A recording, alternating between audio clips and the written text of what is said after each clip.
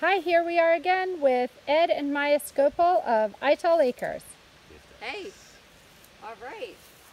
So here down we see our giant golden timber bamboo. This area here we come in, this was an old burn pile. You see a burn pile we have currently going. This was an old one. The burn piles that we have after we burn, we like to reclaim that land and plant certain herbs in those in that recently cleared burnt area. So in here we have a whole host of medicinals. We have comfrey, we have official hyssop, we have the amazing viper's bug loss, we have wormwood, we have echinacea, we've got oregano, there's some elecampane in the back, there's red clover, there's some, uh, what are they, brown-eyed Susans back there. Um, so again, you can see the diversity. We would call this uh, a, a medicinal plant guild or plant community the different plants growing together in harmony. Um, we have uh, evening primrose that we had talked about during the thing coming up here. So many, many, many different medicinal plants. This is comfrey, which we had talked about.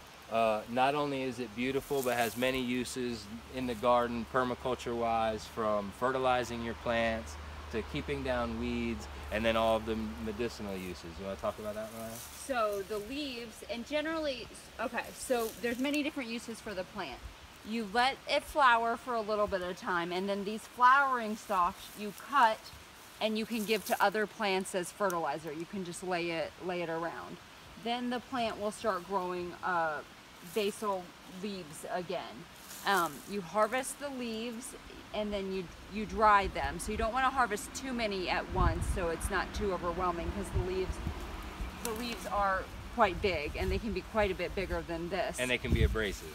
Yeah, you can use it in a poultice um, fresh, but generally you want to dry the comfrey to use it. You or if you use it fresh, you steam it. If you take these leaves inside and steam them over a pot of boiling water and, and it makes them more pliable, it'll get rid of the rough coating and then you can wrap them around whatever injury you might have to get to apply a, a poultice that way. You can also extract it in oil. You can also make a tincture. There is some, you know, concern in the in the in the FDA world about mainly we use comfrey externally. It can be and has a great use internally. There's some some you know what do you call it uh, about pyrrolizidine alkaloids and poisoning the liver and some at certain uses, at certain levels and certain things.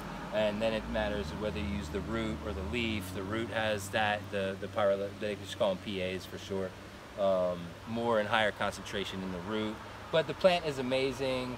Um, again, put completely around for fertilizing. To use externally. Completely safe to use externally. It, it, like she said, it regenerates cell growth and division.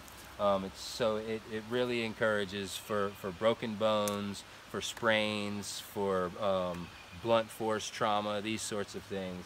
This is an amazing plant to have. It is called bone, I mean um, comfrey or knit bone was another name for it um, in that with broken bones it helps knit the bones back together not only from its use as externally as an oil or a poultice but internally taken as well internally it's helped with that as well. Um, see mullein back here. This is a this is a mullein stalk, an evening primrose stalk, echin, uh, echinacea, elecampane. Um, there's oregano back in here. This is regular garden oregano. All of this tall, shiny one, silvery, that's wormwood. Um, so what do you use wormwood for? So wormwood is uh, one of the supreme bitter plants. It is used commercially in the production of absinthe and other um, alcoholic bitters. Um, but mainly people use it, uh, you want to use it, hardly ever use it fresh. Mainly you want to use it dried because it can be a central nervous system convulsant because it has a high concentration of a compound called thujone. Um, which in drying that compound is greatly reduced so it makes it much safer. This is one of those herbs where sometimes you have to know what you're doing, where you should know that using it fresh can be uh, can present some issues with, especially with sensitive individuals. But using it fried, uh, dried, greatly reduces that. so you can harvest it in early flowering. This like is about ready to harvest here, just now. And just dry it. You can dry the whole stalk, and then it was used to improve digestion, to tonify the stomach and It's called wormwood. Its number one use was worming, whether exactly. it be for pets it's or people. A deworming agent. Parasitic.